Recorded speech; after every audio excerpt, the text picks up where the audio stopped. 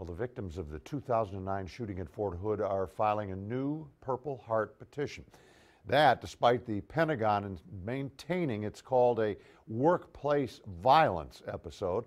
Earlier this month, Congress approving new provisions to make it easier for the 13 people killed and dozens wounded to receive Purple Hearts. Army psychiatrist Nidal Hasan opening fire on those soldiers in November of 2009. He was sentenced to death last year. The process of reviewing a Purple Heart application is expected to take several months.